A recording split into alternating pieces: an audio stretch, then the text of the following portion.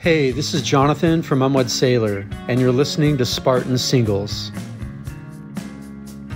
Let Me Be Away is the third single from our album Mute the Charm.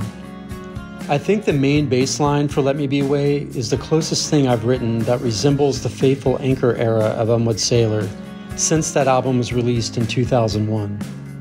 The song title is about having your own space in life to be and find out who you are to have room to make mistakes and also make the right moves. Freedom to sit inside yourself and feel who you are without outside pressures swaying you away from your own peace. The freedom to experience your own unique self without the distractions of having to please others or submit to other people's perceptions of you. Just be away and be yourself.